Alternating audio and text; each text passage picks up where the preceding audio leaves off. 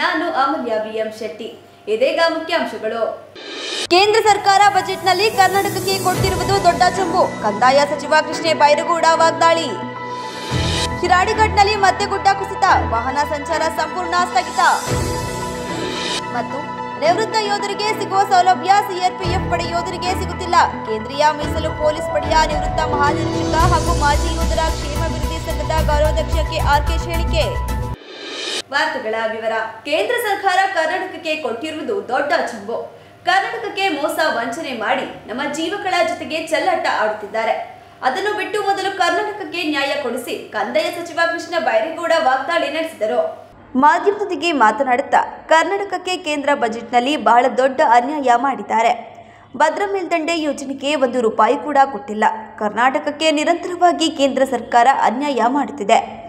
ಮಹದಾಯಿ ಯೋಜನೆಯಲ್ಲಿ ಕರ್ನಾಟಕಕ್ಕೆ ಹಂಚಿಕೆಯಾಗಿರುವ ನೀರು ಬಳಕೆ ಮಾಡಿಕೊಳ್ಳಲು ಬಿಡದೆ ಪರಿಸರ ಇಲಾಖೆ ಅನುಮತಿ ನೆಪವೊಡ್ಡಿ ಗೋವಾ ರಾಜ್ಯಕ್ಕೆ ಅನುಕೂಲ ಮಾಡಿಕೊಡಲು ನಮಗೆ ಮಾಡುತ್ತಿದ್ದಾರೆ. ತಮಿಳುನಾಡಿನ ಪಾಲಿಗೆ ಎಷ್ಟು ನೀರು ನೀಡಬೇಕು? ಅದಕ್ಕಿಂತ ಹೆಚ್ಚಿನ ಪ್ರಮಾಣದ ನೀರು ಹರಿದು ಹೋಗುತ್ತಿದೆ. ಅದು ನಮ್ಮ ರಾಜ್ಯಕ್ಕೆ ಸೇರಬೇಕಾಗಿದ್ದ ನೀರು. ಮೇಕೆದಾಟು ಯೋಜನೆಗೆ ಕೇಂದ್ರ ಸರ್ಕಾರ ಅನುಮತಿ ನೀಡುತ್ತಿಲ್ಲ. ಕೇಂದ್ರ ಸರ್ಕಾರ ರಾಜ್ಯಕ್ಕೆ ಮಾಡುತ್ತಿರುವ ಅನ್ಯಾಯವನ್ನು ಮುಚ್ಚಿಕೊಳ್ಳಲು ಕನ್ನಡಿಗರ ಗಮನವನ್ನು ಬೇರೆಡೆಗೆ ಸೆಳೆಯುವ ಪ್ರಯತ್ನ ಮಾಡುತ್ತಿದ್ದಾರೆ. ರಾಜ್ಯ ಸರ್ಕಾರದ ಬಗ್ಗೆ ಮಾತನಾಡಬೇಕಾದರೆ ಮೊದಲು ಸೆಂಟ್ರಲ್ ಬಜೆಟ್ನಲ್ಲಿ ಘೋಷಣೆ ಮಾಡಿರುವ ಐದು ಸಾವಿರ ಕೋಟಿ ಹಣ ಬಿಡುಗಡೆ ಮಾಡಿಸಿ ಮೇಕೆದಾಟು ಯೋಜನೆಗೆ ಅನುಮತಿ ಕೊಡಿಸಿ. ಕಳಸಾ ಬಂಡೂರಿ, ಮಹದಾಯಿ ಯೋಜನೆ ಕೆಲಸ ಮಾಡಲು ಅನುಮತಿ ಮಾಡಿಕೊಡಿ. ಕೇಂದ್ರ ಸರ್ಕಾರ ಕರ್ನಾಟಕಕ್ಕೆ ಕೊಟ್ಟಿರುವುದು ದೊಡ್ಡ ಚಂಬು ಕರ್ನಾಟಕಕ್ಕೆ ವಂಚನೆ ಮಾಡಿ ಮೋಸದ ಜೊತೆಗೆ ನಮ್ಮ ಜೀವಗಳ ಜೊತೆಗೆ ಚೆಲ್ಲಾಟ ಆಡುತ್ತಿದ್ದಾರೆ. ಅದನ್ನು ಬಿಟ್ಟು ಮೊದಲು ಕರ್ನಾಟಕಕ್ಕೆ ನ್ಯಾಯ ಕೊಡಿಸಿ. ಮೊದಲು ಮೇಕೆದಾಟು ಯೋಜನೆ ಬಗ್ಗೆ ಮಾತನಾಡಿ, ದೊಡ್ಡ ಯಜಮಾನರು, ಚಿಕ್ಕ ಯಜಮಾನರು ಪ್ರಧಾನಮಂತ್ರಿಗಳನ್ನು ಭೇಟಿ ಮಾಡಿದ್ದಾರೆ. ಅದೇ ಸಂದರ್ಭದಲ್ಲಿ ಪ್ರಧಾನಮಂತ್ರಿ ಕೈ ಹಿಡಿದು ಮೇಕೆದಾಟು ಯೋಜನೆಗೆ ಸಹಿ ಹಾಕಿಸಿದರೆ ನಾವು ನಿಮಗೆ ಧನ್ಯವಾದ ಹೇಳಿ ಕೈ ಮುಗಿತಿದ್ದೆವು. ಉತ್ತರ ಕರ್ನಾಟಕದವರು ಒಬ್ಬರು ಮಂತ್ರಿ ಆಗಿದ್ದಾರೆ. ದಕ್ಷಿಣ ಕರ್ನಾಟಕದಲ್ಲಿ ಒಬ್ಬರು ಮಂತ್ರಿ ಆಗಿದ್ದಾರೆ. ಮೇಕೆದಾಟು ಕಳಸಾ ಬಂಡೂರಿ ಯೋಜನೆಗೆ ಏಕೆ ಅನುಮತಿ ಕೊಡಿಸಲು ಆಗುತ್ತಿಲ್ಲ? ಕರ್ನಾಟಕದ ನೀರು ನಮಗೆ ಸಿಗುತ್ತಿಲ್ಲ. ಬೇರೆ ರಾಜ್ಯಗಳಿಗೆ ಹೋಗುತ್ತಿದೆ ಎಂದು ಬೇಸರ ವ್ಯಕ್ತಪಡಿಸಿದರು. ಬಜೆಟ್ನಲ್ಲಿ ಬಹಳ ದೊಡ್ಡ ಅನ್ಯಾಯ ಮಾಡಿದ್ದಾರೆ. ನಮ್ಮ ಅಪ್ಪರ್ ಭದ್ರಾ ಯೋಜನೆಗೆ ಒಂದು ರೂಪಾಯಿ ಕೊಟ್ಟಿಲ್ಲ. ಕರ್ನಾಟಕಕ್ಕೆ ನಮಗೆ ನಿರಂತರವಾಗಿ ಕೇಂದ್ರ ಸರ್ಕಾರ ಅನ್ಯಾಯ ಮಾಡ್ತಾ ಇದೆ. ಸಾಲದಕ್ಕೆ ಮಹದಾಯಿ ಯೋಜನೆಯಲ್ಲಿ ಕರ್ನಾಟಕಕ್ಕೆ ಹಂಚಿಕೆ ಆಗಿರುವ ನೀರು ಬಳಕೆ ಮಾಡ್ಕೊಳ್ಳೋದಕ್ಕೆ ಯಾವುದೋ ಒಂದು ಎನ್ವೈರ್ಮೆಂಟಲ್ ಪರ್ಮಿಷನ್ಗೆ ನೆಪ ಒಡ್ಡುಬಿಟ್ಟು ಗೋವಾ ರಾಜ್ಯಕ್ಕೆ ಅನುಕೂಲ ಮಾಡಿಕೊಡ್ಬೇಕು ಅನ್ನೋ ಒಂದೇ ಕಾರಣಕ್ಕೆ ನಮಗೆ ನ್ಯಾಯಾಲಯದಲ್ಲಿ ಹಂಚಿಕೆ ಆಗಿರುವ ನಮ್ಮ ಪಾಲನ್ನು ಉಪಯೋಗ ಮಾಡಿಕೊಳ್ಳೋದಕ್ಕೆ ಬಿಡದೆ ಕರ್ನಾಟಕಕ್ಕೆ ವಂಚನೆ ಮಾಡ್ತಾ ಇದ್ದಾರೆ. ಕಾವೇರಿಯಲ್ಲಿ ಇಷ್ಟು ನೀರು ಈ ವರ್ಷ ಹರಿದೋಗ್ತಾ ಇದೆ. ಮೇಕೆದಾಟುಗೆ ನಮಗೆ ಅನು ಅನುಮೋದನೆ ಕೊಟ್ಟರೆ ಕೇಂದ್ರ ಸರ್ಕಾರ ಎಕ್ಸಸ್ ನೀರು ಇವತ್ತು ಹೋಗ್ತಾ ಇದೆ. ತಮಿಳ್ನಾಡಿನ ಪಾಲಿಗೆ ಎಷ್ಟು ಹೋಗಬೇಕು, ಅಷ್ಟು ಕೊಟ್ಟು ಅಡಿಷ್ನಲ್ ಆಗಿ ನಾವು ಕಳ್ಕೊಳ್ತಾ ಇದ್ದೇವೆ. ನಮ್ಮ ರಾಜ್ಯಕ್ಕೆ ಸಿಗಬೇಕಾಗಿದ್ದಂಥ ನೀರಿದು. ಮೇಕೆದಾಟು ಯೋಜನೆಗೆ ಅನುಮೋದನೆ ಕೊಡಿ ಅಂದರೆ ಕೇಂದ್ರ ಬಜೆಟ್ನಲ್ಲಿ ಅನುಮೋದನೆಯೂ ಕೊಟ್ಟಿಲ್ಲ. ಮಾದಾಯಿಗೆ ಅನುಮೋದನೆಯೂ ಕೊಟ್ಟಿಲ್ಲ. ಅಪ್ಪರ್ ಭದ್ರಾಗೆ ಐದು ಸಾವಿರ ಕೋಟಿ ಕೊಡ್ತೀವಿ ಅಂತೇಳಿ ಒಂದು ಪೈಸಾನೂ ಕೊಟ್ಟಿಲ್ಲ. ಇವರು ಕೇಂದ್ರ ಸರ್ಕಾರದವರು ರಾಜ್ಯಕ್ಕೆ ಮಾಡ್ತಾ ಇರೋ ಅನ್ಯಾಯಗಳನ್ನು ಮುಚ್ಚಾಕೊಳ್ಳೋದಕ್ಕೋಸ್ಕರ ಇವತ್ತು ಜನರ ಕನ್ನಡಿಗರ ಗಮನವನ್ನು ಬೇರೆ ಕಡೆಗೆ ಡೈವರ್ಟ್ ಮಾಡುವಂಥ ಪ್ರಯತ್ನ ಬಿ ಜೆ ಪಿಯವ್ರು ಮಾಡ್ತಾ ಇದ್ದಾರೆ. ಇವರಿಗೇನಾದರೂ ರಾಜ್ಯ ಸರ್ಕಾರದ ಬಗ್ಗೆ ಮಾತಾಡಬೇಕು ಅಂದರೆ ಮೊದಲು ಕರ್ನಾಟಕ ರಾಜ್ಯದ ಬೇಡಿಕೆ, ನಮ್ಮ ಅಪ್ಪರ್ ಭದ್ರಾಗೆ ಐದು ಸಾವಿರ ಮುನ್ನೂರು ಕೋಟಿ ಸೆಂಟ್ರಲ್ ಬಜೆಟಲ್ಲಿ ಘೋಷಣೆ ಮಾಡಿದ್ದನ್ನು ಬಿಡುಗಡೆ ಮಾಡಿಸಿ, ಮೇಕೆದಾಟು ಯೋಜನೆಗೆ ಅನುಮೋದನೆ ಕೊಡಿಸಿ ಮಹದಾಯಿ ಯೋಜನೆ ಕೆಲಸ ಆರಂಭ ಮಾಡೋದಕ್ಕೆ ಕಳಸಾ ಬಂಡೂರಿ ನಾಲೆಗೆ ಅವಕಾಶ ಮಾಡಿಕೊಡಿ. ಆಮೇಲೆ ಉಳಿದಿದ್ದು ಮಾತಾಡಿ. ಇವ್ರು ಕೊಟ್ಟಿರೋದು ನಮಗೆ ದೊಡ್ಡ ಚೆಂಬು. ಕರ್ನಾಟಕಕ್ಕೆ ಮೋಸ ಮಾಡಿ, ವಂಚನೆ ಮಾಡಿ. ಇವತ್ತು ಅದನ್ನು ಜನಗಳ ಅಟೆನ್ಷನನ್ನು ಡೈವರ್ಟ್ ಮೋಸದ ಮೇಲೆ ನಮ್ಮ ಜೊತೆ ಚೆಲ್ಲಾಟನೂ ಆಡ್ತಾ ಇದ್ದಾರೆ ಬಿ ಜೆ ಪಿಯವರು ಕರ್ನಾಟಕಕ್ಕೆ ವಂಚನೆ ಮಾಡಿದ್ದಲ್ಲದೆ ನಮಗೆ ಇವತ್ತು ಮೋಸದ ಜೊತೆಗೆ ನಮ್ಮ ಜೀವನಗಳ ಜೊತೆ ಚಲ್ಲಾಟ ಆಡುವಂಥ ಕೆಲಸ ಬಿ ಜೆ ಪಿಯವರು ಮಾಡ್ತಾ ಇದ್ದಾರೆ. ಅದನ್ನು ಮಾಡೋದು ಬಿಟ್ಟು ಕರ್ನಾಟಕಕ್ಕೆ ನ್ಯಾಯ ಕೊಡಿಸಿ. ಆಮೇಲೆ ಇನ್ನೇನಾದರೂ ಸರಿ ತಪ್ಪು ಇದ್ದರೆ ವಿಚಾರ ಮಾಡೋಣ, ಮಾತಾಡೋಣ. ಯಾರೂ ಏನು ಪರ್ಫೆಕ್ಟ್ ಇರೋದಿಲ್ಲ. ಆದರೆ ಫಸ್ಟ್ ನೀವು ಮಾಡಬೇಕಾಗಿರೋ ಕೆಲಸ ಮಾಡಿಸಿ. ಮೇಕೆದಾಟು ಪರವಾಗಿ ಒಬ್ಬರು ಮಾತಾಡಿದಾರ? ದೊಡ್ಡ ಯಜಮಾನರು, ಚಿಕ್ಕ ಯಜಮಾನರು ನಿನ್ನೆ ಹೋಗಿ ಪ್ರಧಾನಮಂತ್ರಿಗಳನ್ನು ಭೇಟಿ ಮಾಡಿದ್ದಾರೆ. ಅದೇ ಸಂದರ್ಭದಲ್ಲಿ ಪ್ರಧಾನಮಂತ್ರಿಗಳು ಕೈ ಹಿಡಿದು ಒಂದು ಮೇಕೆದಾಟು ಯೋಜನೆಗೆ ಒಂದು ಸೈನ್ ಹಾಕ್ಸಿದ್ದಿದ್ರೆ ನಾವು ಸೇರಿ ನಿಮಗೆ ಧನ್ಯವಾದ ಹೇಳ್ತಾ ಇದ್ವಿ, ಕೈ ಮುಗಿತಾ ಇದ್ವಿ. ನಾನು ನಿಮಗೆ ಕೈ ಮುಗಿದು ಕೇಳ್ಕೊಳ್ತೇನೆ. ನಮ್ಮ ಮೇಕೆದಾಟು ಯೋಜನೆ, ನಮ್ಮ ಕಳಸ ಬಂಡೂರಿ ಯೋಜನೆ, ಇದಕ್ಕೆ ದಯವಿಟ್ಟು ಒಪ್ಪಿಗೆ ಕೊಡಿಸಿ. ಉತ್ತರ ಕರ್ನಾಟಕದಲ್ಲಿ ಒಬ್ಬರು ಮಂತ್ರಿ ಆಗಿದ್ದಾರೆ, ದಕ್ಷಿಣ ಕರ್ನಾಟಕದಲ್ಲಿ ಒಬ್ಬರು ಮಂತ್ರಿ ಆಗಿದ್ದಾರೆ. ಒಂದು ಮೇಕೆದಾಟು, ಒಂದು ಕಳಸ ಬಂಡೂರಿಗೆ ಯಾಕೆ ಇವ್ರ ಕೈಲಿ ಪರ್ಮಿಷನ್ ಕೊಡ್ಸೋಕ್ಕಾಗ್ತಾ ಇಲ್ಲ? ರಾಜ್ಯ ಕರ್ನಾಟಕದ ನೀರು ನಮಗೆ ಸಿಗ್ತಾ ಇಲ್ಲ. ಬೇರೆ ರಾಜ್ಯಗಳಿಗೆ ಹರಿದು ಹೋಗ್ತಾ ಇದೆ, ಸಮುದ್ರ ಸೇರ್ಕೋತಾ ಇದೆ, ಯಾರು ಹೊಟ್ಟೆ ತುಂಬ್ತಾ ಇದೆ? ನಮ್ಮ ಕನ್ನಡಿಗರ ಹೊಟ್ಟೆ ಹಸಿದು ಸಮುದ್ರ ತುಂಬಿಸ್ತಾ ಇದ್ದೀರಾ? ಕೈ ಮುಗಿದು ಕೇಳ್ಕೊಳ್ತೇನೆ ನಿಮಗೇನಾದರೂ ರಾಜ್ಯದ ಬಗ್ಗೆ ಕಾಳಜಿ ಇದ್ದರೆ ನಮ್ಮ ಮೇಕೆದಾಟುಗೆ ಕಳಸಾ ಬಂಡೂರಿ ಯೋಜನೆಗೆ ತತ್ಕ್ಷಣ ಅನುಮೋದನೆ ಕೊಡಿಸಿ, ನಮ್ಮ ಅಪ್ಪರ್ ಭದ್ರಾ ಯೋಜನೆ ಮೋಟ್ರ್ ಆನ್ ಮಾಡಬೇಕು ಈ ವರ್ಷ. ಐದು ಸಾವಿರ ಮುನ್ನೂರು ಕೋಟಿ ಕೊಡಬೇಕು ಸೆಂಟ್ರಲ್ ಗೌರ್ಮೆಂಟು. ಒಂದು ಪೈಸಾ ಕೊಟ್ಟಿಲ್ಲ ಇನ್ನು. ನಿಮಗೇನಾದರೂ ಕರ್ನಾಟಕದ ಬಗ್ಗೆ ಕಾಳಜಿ ಇದ್ದರೆ ಫಸ್ಟ್ ಇವುಗಳನ್ನ ಮಾಡಿ ಕೊಡಿ. ಆಮೇಲೆ ನೀವು ನಮ್ಮನ್ನು ಪ್ರಶ್ನೆ ಮಾಡಿ, ನಾವು ಕೂಡ ಉತ್ತರ ಕೊಡ್ತೇವೆ. ಅದನ್ನು ಬಿಟ್ಬಿಟ್ಟು. ಕರ್ನಾಟಕದ ಹಲವೆಡೆ ಭಾರಿ ಮಳೆಯಾಗುತ್ತಿದ್ದು. ಅವಾಂತರವನ್ನೇ ಸೃಷ್ಟಿಸಿದೆ. ಅದರಂತೆ ಇದೀಗ ಹಾಸನ ಜಿಲ್ಲೆಯ ಸಕಲೇಶ್ಪುರ ತಾಲೂಕಿನ ಎತ್ತಿನಹಳ್ಳದ ಬಳಿ ಏಕಾಏಕಿ ಗುಡ್ಡ ಕುಸಿದಿದ್ದು. ಮತ್ತೆ ಶಿರಾಡಿ ಘಾಟ್ನಲ್ಲಿ ಸಂಚಾರ ಸ್ಥಗಿತವಾಗಿದೆ.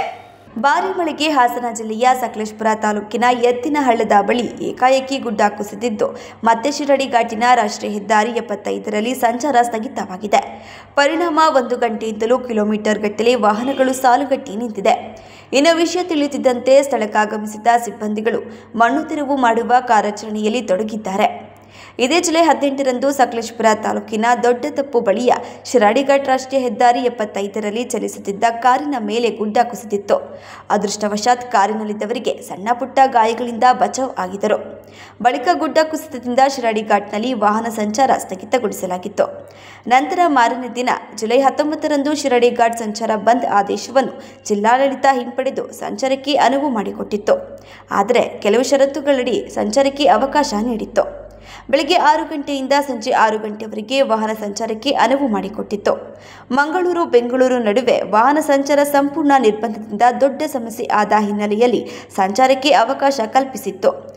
ಇದೀಗ ಮತ್ತೆ ಗುಡ್ಡ ಕುಸಿದಿದ್ದು ಮುನ್ನೆಚ್ಚರಿಕೆಯಾಗಿ ಸಂಚಾರವನ್ನು ನಿಷೇಧಿಸಲಾಗಿದೆ. ಅರೆಮಿಲಿಟರಿ ಪಡೆಗಳ ಯೋಧರು ತಮ್ಮ ಪ್ರಾಣವನ್ನು ಲೆಕ್ಕಿಸದೆ ಸೇವೆ ಮಾಡುವಾಗ ತ್ಯಾಗ ಬಲಿದಾನಗಳು ಪ್ರತಿನಿತ್ಯ ಆಗುತ್ತಿದ್ದರು ನಿವೃತ್ತ ಯೋಧರಿಗೆ ಸಿಗುತ್ತಿರುವ ಸೌಲಭ್ಯಗಳಲ್ಲಿ ಒಂದು ಸಣ್ಣ ಭಾಗವು ಸಿಆರ್ಪಿಎಫ್ ಪಡೆಯ ಯೋಧರಿಗೆ ಸಿಗದೆ ಇರುವುದು ಶೋಚನೀಯ ಸಂಗತಿಯಾಗಿದೆ. ಎಂದು ಕೇಂದ್ರೀಯ ಮೀಸಲು ಪೊಲೀಸ್ ಪಡೆಯ ನಿವೃತ್ತ ಮಹಾನಿರೀಕ್ಷಕರಾದ ಹಾಗೂ ಮಾಜಿ ಯೋಧರ ಕ್ಷೇಮಾಭಿವೃದ್ಧಿ ಸಂಘದ ಗೌರವಾಧ್ಯಕ್ಷ ಕೆಆರ್ ಕೆಶ್ ಬೇಸರ ವ್ಯಕ್ತಪಡಿಸಿದರು ಕೇಂದ್ರೀಯ ಅರಸೇನಾ ಪಡೆಗಳ ಮಾಜಿ ಯೋಧರ ಭವನದಲ್ಲಿ ಕ್ಷೇಮಾಭಿವೃದ್ಧಿ ಸಂಘದ ವತಿಯಿಂದ ಹಮ್ಮಿಕೊಳ್ಳಲಾಗಿದ್ದ ಕೇಂದ್ರೀಯ ಮೀಸಲು ಪೊಲೀಸ್ ಪಡೆ ಎಂಬತ್ತೈದನೇ ಸ್ಥಾಪನಾ ದಿನಾಚರಣೆಯನ್ನು ಮೊದಲು ಧ್ವಜಾರೋಹಣ ನೆರವೇರಿಸಿ ನಂತರ ಕಾರ್ಯಕ್ರಮದಲ್ಲಿ ಅಧ್ಯಕ್ಷತೆ ವಹಿಸಿ ಮಾತನಾಡಿದ ಅವರು, ಬ್ರಿಟಿಷ್ ಕಾಲದಲ್ಲಿ ಆರಂಭವಾದ ಇಂಡಿಯಾ ಪೊಲೀಸ್ ಪಡೆ ಇಂದು ಬೃಹತ್ಕಾರವಾಗಿ ಬೆಳೆದಿದೆ ಸ್ವತಂತ್ರ ಭಾರತದಲ್ಲಿ ಶಾಂತಿ ಸೌಹಾರ್ದತೆಯನ್ನು ಕಾಪಾಡಿ ದೇಶದ ಪ್ರಗತಿಯಲ್ಲಿ ಸಹಕಾರ ನೀಡುತ್ತಿದೆ. ಯುದ್ಧ ಕಾಲದಲ್ಲಿ ಸೈನಿಕರ ಜೊತೆ ಹೆಗಲಿಗೆ ಹೆಗಲು ಕೊಟ್ಟು ನಮ್ಮ ಯೋಧರು ದುಡಿದಿದ್ದಾರೆ. ಶಾಂತಿ ಕಾಲದಲ್ಲಿ ವಿದ್ರೋಹ, ಟೆರರಿಸಂ, ನೆಕ್ಸಲಿಸಂ, ನ್ಯಾಚುರಲ್ ಡಿಸಾಸ್ಟರ್ ಇಂತಹ ವೇಳೆ ದೇಶದ ಏಕತೆ ಮತ್ತು ಅಖಂಡತೆಯನ್ನು ಕಾಪಾಡುವುದರಲ್ಲಿ ಕೇಂದ್ರೀಯ ಮೀಸಲು ಪೊಲೀಸ್ ಪಡೆ ಮಹತ್ವಪೂರ್ಣವಾದ ಪಾತ್ರ ವಹಿಸಿದೆ. ಸಿಆರ್ಪಿಎಫ್ ಇಲ್ಲದೆ ಇದ್ದರೆ ದೇಶದ ಚುನಾವಣೆಯನ್ನು ನಡೆಸಲು ಸಾಧ್ಯ ಇಲ್ಲವೇನೋ ಮಟ್ಟಕ್ಕೆ ಕಾರ್ಯನಿರ್ವಹಿಸುತ್ತಿದೆ ಎಂದರು. ಮೂರು ಪಾಯಿಂಟ್ ಐದು ಲಕ್ಷ ಸಂಖ್ಯೆ ಇರುವ ಸಿಆರ್ಪಿಎಫ್ ಮತ್ತು ಅದರ ಸಹೋದರ ಸಂಸ್ಥೆಯಾದ Assam rifles BSF CISF SSB ಸೇರಿದಂತೆ ಇತರ ಸಂಸ್ಥೆಗಳು ಸುಮಾರು ಹತ್ತು ಲಕ್ಷ ಜನರನ್ನು ಒಳಗೊಂಡು ದೇಶದ ಮೂಲೆ ಮೂಲೆಯಲ್ಲಿ ಸೇವೆ ಸಲ್ಲಿಸುತ್ತಿದೆ. ಸೈನಿಕರು ಎಂದರೆ ಆರ್ಮಿ ಏರ್ಫೋರ್ಸ್ ಎಂದುಕೊಂಡಿದ್ದಾರೆ. ಆರ್ಮಿ ಸೈನಿಕರ ಸಂಖ್ಯೆ ಹದಿನೈದು ಲಕ್ಷದ ಬಲವಿದ್ದರೆ ಕೇಂದ್ರೀಯ ಮೀಸಲು ಪೊಲೀಸ್ ಪಡೆಗಳಲ್ಲಿ ಅಥವಾ ಅರೆ ಮಿಲಿಟರಿ ಪಡೆಗಳಲ್ಲಿ ಅವರ ಸಂಖ್ಯೆ ಸುಮಾರು ಹತ್ತು ಲಕ್ಷ ಸಂಖ್ಯೆ ಇದೆ. ಇವರ ತ್ಯಾಗ ಬಲಿದಾನಗಳು ದಿನನಿತ್ಯ ಆಗುತ್ತಿದೆ. ಪ್ರತಿ ಮೂರು ದಿನಕ್ಕೆ ಒಬ್ಬ ಅರೆ ಮಿಲಿಟರಿ ಪೊಲೀಸ್ ಪಡೆಗಳು ಹುತಾತ್ಮರಾಗುತ್ತಾರೆ ಎಂದು ಆತಂಕ ವ್ಯಕ್ತಪಡಿಸಿದರು. ಸೈನಿಕರಿಗೆ ಸಿಗುತ್ತಿರುವ ಸೌಲಭ್ಯಗಳಲ್ಲಿ ಒಂದು ಸಣ್ಣ ಭಾಗವು ಸಿಆರ್ಪಿಎಫ್ಗೆ ಸಿಗದೇ ಇರುವುದು ಬಹಳ ಶೋಚನೀಯವಾದ ವಿಷಯ. ಎಲ್ಲ ರಾಜಕೀಯ ಪಕ್ಷಗಳು ಈ ಬಗ್ಗೆ ಆಲೋಚನೆ ಮಾಡಬೇಕಾಗಿದೆ. ಅವರಿಗೆ ಮೂಲಭೂತವಾಗಿ ಸಿಕ್ಕಬೇಕಾಗಿರುವ ಪೆನ್ಷನ್ ಸಿಗುತ್ತಿಲ್ಲ. ಅವರನ್ನು ಸಿವಿಯಲ್ ಎಂಪ್ಲಾಯೀಸ್ ಎನ್ನುವ ರೀತಿಯಲ್ಲಿ ಕಾಣುತ್ತಿದ್ದಾರೆ ಎಂದು ಅಸಮಾಧಾನ ವ್ಯಕ್ತಪಡಿಸಿದರು. ಕ್ರೌನ್ ರೆಪ್ರೆಸೆಂಟೇಟಿವ್ ಪೊಲೀಸ್ ಹೆಸರಿನಲ್ಲಿ ಬ್ರಿಟಿಷ್ ಕಾಲದಲ್ಲಿ ಆರಂಭವಾದ ಈ ಕೇಂದ್ರೀಯ ಪೊಲೀಸ್ ಪಡೆ ಇವತ್ತು ಬೃಹದಾಕಾರವಾಗಿ ಬೆಳೆದಿದೆ. ಸ್ವತಂತ್ರ ಭಾರತದಲ್ಲಿ ಶಾಂತಿ, ಸೌಹಾರ್ದತೆಯನ್ನ ಕಾಪಾಡಿ ದೇಶದ ಪ್ರಗತಿಯಲ್ಲಿ ಸಹಕಾರ ನೀಡ್ತಿದೆ. ಯುದ್ಧ ಕಾಲದಲ್ಲಿ ಸೈನಿಕರ ಜೊತೆ ಹೆಗಲಿಗೆ ಹೆಗಲು ಕೊಟ್ಟು ನಮ್ಮ ಯೋಧರು ದುಡಿದಿದ್ದಾರೆ. ಮತ್ತೆ ಶಾಂತಿ ಕಾಲದಲ್ಲಿ ವಿದ್ರೋಹ terrorism naxalism communal violence natural disaster ಇಂತಹ ಸಂದರ್ಭಗಳಲ್ಲಿ ದೇಶದ ಏಕತೆ ಮತ್ತು ಅಖಂಡತೆಯನ್ನು ಕಾಪಾಡೋದ್ರಲ್ಲಿ ಕೇಂದ್ರೀಯ ಮೀಸಲು ಪೊಲೀಸ್ ಪಡೆ ಮಹತ್ವಪೂರ್ಣವಾದ ಪಾತ್ರವನ್ನು ವಹಿಸಿದೆ. ದೇಶದ ಎಲೆಕ್ಷನ್ ಸಿಆರ್ಪಿಎಫ್ ಇಲ್ಲದೆ ಇದ್ರೆ ಪ್ರಾಯಶಃ ನಡೆಸಲಿಕ್ಕೆ ಸಾಧ್ಯವಿಲ್ವೇನೋ ಅನ್ನುವ ಮಟ್ಟಕ್ಕೆ ಸಿಆರ್ಪಿಎಫ್ನ ಪಾತ್ರ ಅದರಲ್ಲಿ ಸೇರಿದೆ. ಆದರೆ ಈ ಮೂರು ಪಾಯಿಂಟ್ ಐದು ಲಕ್ಷ ಸಂಖ್ಯೆ ಇರುವ ಸಿಆರ್ಪಿಎಫ್ ಮತ್ತು ಅದರ ಸಹೋದರ ಸಂಸ್ಥೆಗಳಾದ Assam rifles BSF CISF S S B border security Indo Tibetan border police ಇತ್ಯಾದಿ ಸಂಸ್ಥೆಗಳು ಸುಮಾರು ಹತ್ತು ಲಕ್ಷ ಜನರನ್ನ ಒಳಗೊಂಡು ಅವರು ದೇಶದ ಮೂಲೆ ಮೂಲೆಯಲ್ಲಿ ಸೇವೆ ಸಲ್ಲಿಸ್ತಿದ್ದಾರೆ. ಆದ್ರೆ ಶ್ರೀ ಸಾಮಾನ್ಯರಿಗೆ ಗೊತ್ತಿರೋದೇನಂತ ಅಂದ್ರೆ ಸೈನಿಕರು ಅಂತ ಅಂದ್ರೆ ಬರೀ ಆರ್ಮಿ ನೇವಿ ಏರ್ ಫೋರ್ಸ್ ಅಂತ. ಆರ್ಮಿ ನೇವಿ ಏರ್ ಫೋರ್ಸ್ ಸೇರಿ ಹದಿನೈದು ಲಕ್ಷಗಳ ಸಂಖ್ಯೆಯ ಬಲ ಇದ್ರೆ ಈ ಕೇಂದ್ರೀಯ ಪೊಲೀಸ್ ಪಡೆಗಳಲ್ಲಿ ಅಥವಾ ಅರೆ ಮಿಲಿಟರಿ ಪೊಲೀಸ್ ಪಡೆಗಳಂತ ಏನ್ ಕರಿತೇವೆ, ಅವರ ಸಂಖ್ಯೆ ಸುಮಾರು ಹತ್ತು ಲಕ್ಷ ಇದೆ. ಇವರ ತ್ಯಾಗ ಬಲಿದಾನಗಳು ದಿನನಿತ್ಯವೂ ಆಗ್ತಾ ಇದ್ದಾವೆ. ಪ್ರತಿ ಮೂರು ದಿನಕ್ಕೊಬ್ಬ ಈ ಅರೆ ಮಿಲಿಟರಿ ಪೊಲೀಸ್ ಪಡೆಗಳಿಂದ ಹುತಾತ್ಮರಾಗ್ತಾ ಇದ್ದಾರೆ. ದುಃಖದ ಸಂಗತಿ ಅಂತ ಅಂದ್ರೆ ಸೈನಿಕರಿಗೆ ಸಿಗ್ತಾ ಇರುವಂತಹ ಸೌಲಭ್ಯಗಳ ಒಂದು ಸಣ್ಣ ಭಾಗವೂ ಈ ಸಿ ಎ ಪಿ ಗೆ ಸಿಕ್ಕದೇ ಇರೋದು ಬಹಳ ಶೋಚನೀಯವಾದ ವಿಷಯ. ಎಲ್ಲಾ ರಾಜಕೀಯ ಪಕ್ಷಗಳು ಈ ಬಗ್ಗೆ ಆಲೋಚನೆ ಮಾಡಬೇಕಾಗಿದೆ. ಅವ್ರಿಗೆ ಮೂಲಭೂತವಾಗಿ ದಕ್ಕಬೇಕಾಗಿದ್ದಂತಹ ಪೆನ್ಷನ್ ಸಿಗ್ತಾ ಇಲ್ಲ. ಅವರನ್ನ ಸಿವಿಲಿಯನ್ ಎಂಪ್ಲಾಯೀಸ್ ಅನ್ನೋ ರೀತಿಯಲ್ಲಿ ಕಾಣ್ತಿದ್ದಾರೆ. ಮತ್ತೆ ಅವ್ರಿಗೆ ಅರೆ ಮಿಲಿಟರಿ ಸೈನಿಕ್ ಬೋರ್ಡ್ ಅನ್ನ ಘಟಿಸಿ ಪ್ರತಿ ರಾಜ್ಯದಲ್ಲೂ ಅವ್ರಿಗೆ ಸೈನಿಕರಿಗೆ ಸಲ್ಲಬೇಕಾಗಿರುವ ಸೌಲಭ್ಯ, ಅವ್ರಿಗೆ ನಿವೃತ್ತಿ ನಂತರ ಸಲ್ಲಬೇಕಾಗಿರುವಂತಹ ಸೌಲಭ್ಯಗಳನ್ನ ಸರ್ಕಾರ ಕಲ್ಪಿಸಿಕೊಡ್ಬೇಕು. ಬಿಎಸ್ಎಫ್ ನಿವೃತ್ತ ಯೋಧ ಎಂಜಿ ರಮೇಶ್ ಮಾತನಾಡಿ, ಕೇಂದ್ರೀಯ ಅರಸೇನಾ ಪಡೆಗಳ ಮಾಜಿ ಯೋಧರ ಸಂಘವಿದು. ನಮಗೆ ಸಿಗಬೇಕಾದ ಸೌಲಭ್ಯಗಳು ಸರ್ಕಾರದಿಂದ ಯಾವುದೂ ಸಿಗುತ್ತಿಲ್ಲ ಎಂದು ಬಹಳ ವರ್ಷಗಳಿಂದಲೂ ಹೋರಾಟ ಮಾಡಲಾಗುತ್ತಿದ್ದು, ಕೇಂದ್ರ ಸರ್ಕಾರವು ಸೌಲಭ್ಯ ಕೊಡಿ ಎಂದು ಆದೇಶ ಮಾಡಿದರೂ ಸಹ ಇದುವರೆಗೂ ಯಾವುದೇ ಸೌಲಭ್ಯ ನೀಡಿರುವುದಿಲ್ಲ. ಹಿಂದೆ ಇದೇ ಕಾಂಗ್ರೆಸ್ ಸರ್ಕಾರ ಇದ್ದಾಗ ಸಿದ್ದರಾಮಯ್ಯ ಅವರು ಸೇನಾ ಮತ್ತು ಅರಸೇನಾ ಪಡೆಯ ಕಲ್ಯಾಣ ಬೋರ್ಡ್ ಮಾಡಿದರು.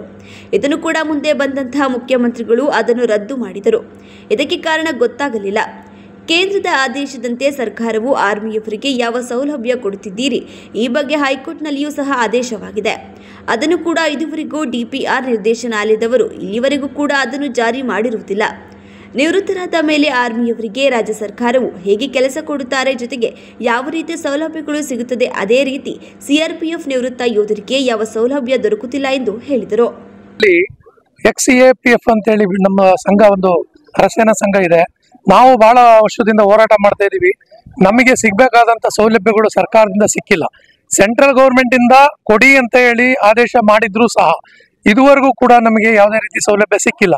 ಹಿಂದೊಮ್ಮೆ ಇದೇ ಸಿದ್ದರಾಮಯ್ಯ ಸಾಹೇಬರು ಕಾಂಗ್ರೆಸ್ ಸರ್ಕಾರ ಇದ್ದಾಗ ನಮಗೆ ಸೇನಾ ಮತ್ತು ಅರಸೇನಾ ಪಡೆಯ ಒಂದು ಕಲ್ಯಾಣ ಬೋರ್ಡ್ ಅಂತ ಮಾಡಿದ್ರು. ಅದನ್ನು ಕೂಡ ಮುಂದೆ ಬಂದಂತ ಏನು ಎಂ ಎಲ್ ಮುಖ್ಯಮಂತ್ರಿಗಳಿದ್ರು ಅದು ಕ್ಯಾನ್ಸಲ್ ಮಾಡಿದ್ರು.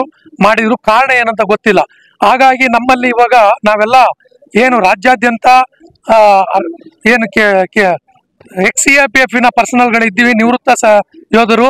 ಅವರೆಲ್ಲ ನಾವು ಬೇಡ್ಕೊಳ್ಳೋದು ಏನಂದ್ರೆ, ಈ ಸರ್ಕಾರ ಜೊತೆ ಬೇಡ್ಕೊಳ್ಳೋದು ಏನಂದ್ರೆ, ನಮಗೆ ಏನು ಸೌಲಭ್ಯ ಆರ್ಮಿ ಅವ್ರಿಗೆ ಕೊಡ್ತಾ ಇದೀರಿ ಸೆಂಟ್ರಲ್ ಗೌರ್ಮೆಂಟ್ ಏನು ಆದೇಶ ಮಾಡಿದೆ, ಅದಲ್ದೇನೆ ಅದಲ್ದೇನೆ ಹೈಕೋರ್ಟು ಸಹ ಇದ್ರ ಬಗ್ಗೆ ಕಾಳಜಿ ವಹಿಸಿ, ಹೈಕೋರ್ಟಲ್ಲೂ ಕೂಡ ಕೇಸ್ ಆಗಿ ಅಲ್ಲೂ ಕೂಡ ಆದೇಶ ಆಗಿದೆ.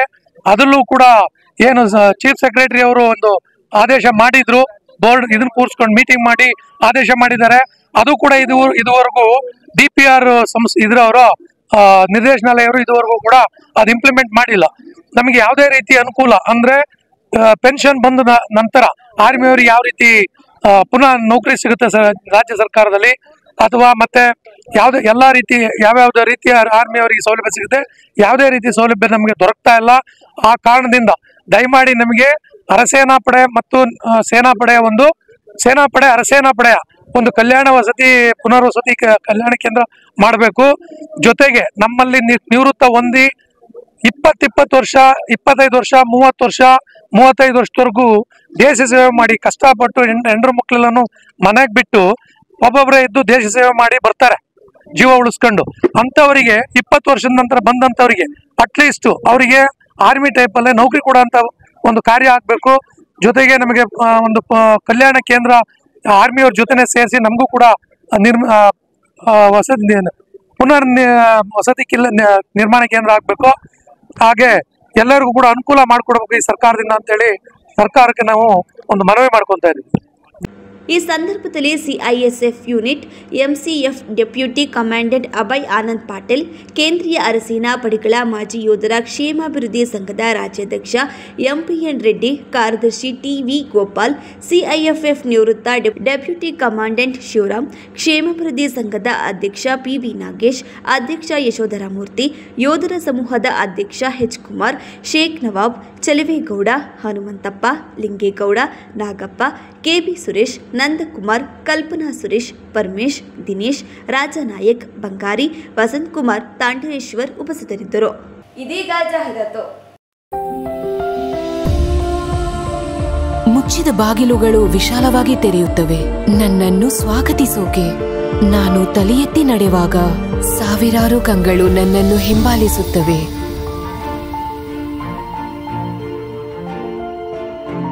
ಹೊಗಳಿಕೆಯು ನನ್ನ ಬಳಿ ಹರಿದು ಬರುತ್ತದೆ. ನನ್ನನ್ನು ಮೆಚ್ಚಿಸೋಕೆ ಎಷ್ಟೇ ಜನ ಇದ್ದರೂ ಮಾತು ನನ್ನ ಬಗ್ಗೆ ಮಾತ್ರ. D home, furniture and interior, ಹಾಸನದ ಅತಿ ದೊಡ್ಡ ಫರ್ನಿಚರ್ ಶೋರೂಮ್. ನಿಮ್ಮ ಕನಸಿನ ಮನೆಯ ಅಂದವನ್ನ ಹೆಚ್ಚಿಸಲು ಹಾಗೂ ಆರಾಮದಾಯಕ ಪೀಠೋಪಕರಣಗಳು ಉತ್ಕೃಷ್ಟ ಗುಣಮಟ್ಟದಲ್ಲಿ ಲಭ್ಯ. ವಿವಿಧ ವಿನ್ಯಾಸದ ಡೈನಿಂಗ್ ಟೇಬಲ್ಗಳು, ಮ್ಯಾಟ್ರೆಸ್ಗಳು, corner sofa, recliner sofa, wooden sofa, ಹಲವು ಮಾದರಿಯ ಕಾಟ್ಗಳು, ವಾರ್ಡ್ರೋಬ್ಗಳು, ಡ್ರೆಸ್ಸಿಂಗ್ ಟೇಬಲ್ಗಳು, ಇನ್ನು ಹಲವಾರು ವೆರೈಟಿಯ ಫರ್ನಿಚರ್ಗಳು ದೊರೆಯುತ್ತವೆ. ಭೇಟಿ ಕೊಡಿ D home furniture and interior, opposite district stadium, Salagame road, Hassan. Phone numbers eight one five six nine eight nine triple one. Nine five six two nine double five zero two six ಮತ್ತು nine six double three one five two double five two.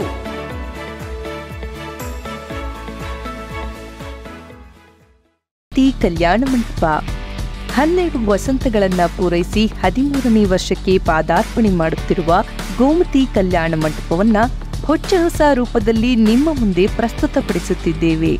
ಅತ್ಯಾಧುನಿಕವಾಗಿ ನವೀಕರಣಗೊಂಡ ಕಲ್ಯಾಣ ಮಂಟಪದಲ್ಲಿ ಸಾವಿರದ ಇನ್ನೂರು ಜನರು ಪಾಲ್ಗೊಳ್ಳಬಹುದಾದ banquet ಹಾಲ್, ಏಳ್ನೂರು ಜನರು ಊಟ ಮಾಡಬಹುದಾದ dining hall ಇತ್ತು ಮದುವೆ, ಬೀಗರ ಔತಣ, ನಾಮಕರಣ ಮತ್ತು ಎಲ್ಲ ಶುಭ ಸಮಾರಂಭಗಳಿಗೆ ಸಸ್ಯಾಹಾರಿ ಮತ್ತು ಮಾಂಸಾಹಾರಿ ಔತಣಗಳಿಗೆ ಹಾಲ್ ಅನ್ನ ನೀಡಲಾಗುತ್ತದೆ.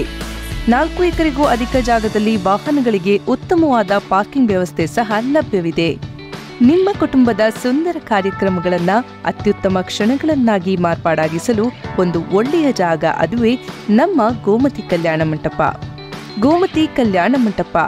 ಕೋಟ್ ಹೊಸ ಬಸ್ ನಿಲ್ದಾಣದ ಹತ್ತಿರ ಚನ್ನಪಟ್ಟಣ ಬಡಾವಣೆ ಹೊಳೆನರಸೀಪುರ ರಸ್ತೆ, ಹಾಸನ. ಬುಕಿಂಗ್ ಹಾಗೂ ಹೆಚ್ಚಿನ ಮಾಹಿತಿಗಾಗಿ ಸಂಪರ್ಕಿಸಿ nine double four eight four two seven two six one, eight nine seven zero five six eight triple six. Bhima Brilliance Diamond Jewelry Festival till 31st July. Get assured cashback of rupees 7000 per carat and enjoy flat rupees 500 off per gram on gold in diamond jewelry. Available at all Bhima Jewelers showrooms. TNC apply.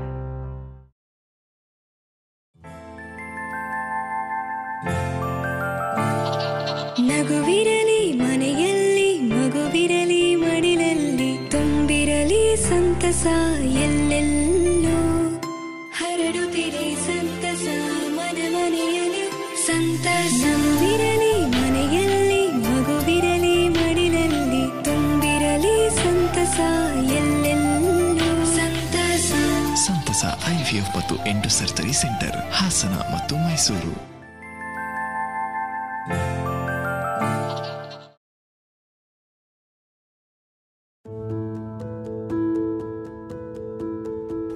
ನೀವು ನಿಮ್ಮ ಚಿನ್ನವನ್ನು ಪ್ರಸ್ತುತ ದರದಲ್ಲಿ ಮಾರಾಟ ಮಾಡಬೇಕೆ? ನೀವು ನಿಮ್ಮ ಗಿರವಿ ಇಟ್ಟಿರುವ ಚಿನ್ನವನ್ನು ಬಿಡಿಸಲು ಹಣ ಬೇಕೇ? ಹಿಂದೆ ಕರೆ ಮಾಡಿ, Skanda gold company. Seven double nine six zero eight double nine six zero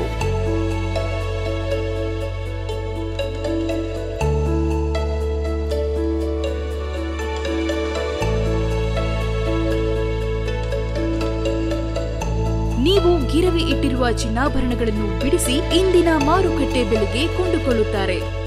ಹಾಗೂ ನಿಮ್ಮಲ್ಲಿರುವ ಹಳೆಯ ಚಿನ್ನವನ್ನು ಪ್ರಸ್ತುತ ಆನ್ಲೈನ್ ದರದಲ್ಲಿ ಕೊಂಡುಕೊಳ್ಳುತ್ತಾರೆ. ಸ್ಕಂದ ಗೋಲ್ಡ್ ಕಂಪನಿ, ಕರ್ನಾಟಕದಾದ್ಯಂತ ನಮ್ಮ ಶಾಖೆಗಳು ತೆರೆದಿರುತ್ತದೆ. Skanda gold company, city bus stand ಹತ್ತಿರ, ಎವಿಕೆ ಕಾಲೇಜ್ ರಸ್ತೆ, ಇಂಡಿಯನ್ ಬ್ಯಾಂಕ್ ಪಕ್ಕ ಹಾಸನ. ಹಿಂದೆ ಕರೆ ಮಾಡಿ, seven double nine six zero, eight double nine six zero.